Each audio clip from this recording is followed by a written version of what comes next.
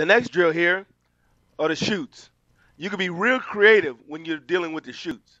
I like I just simply like to put a two-man sled underneath the chute, and we'll go from a six-point stance, and we'll explode our hands into the sled as we rotate our hips. Hand speed from the ground to the sled are vital and very important. So we got to make sure we work on that. The next thing I'll do is that we'll go from a three-point stance. As the same sled, our chutes are 45 and a half inches high from the ground. We want to make sure we buzz our feet on contact. We want to make sure we maintain great leverage. Again, the drills that you can do under the chute, the sky's the limit. Okay? As you can see here, we got them lined up behind one another so we're not wasting time.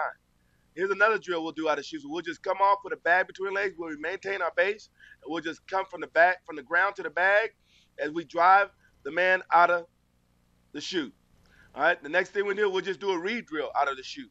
We'll re, we'll we'll do take a mirror step based off the offensive lineman's uh, first step, and we'll get our try to get our hands inside. He got a running back.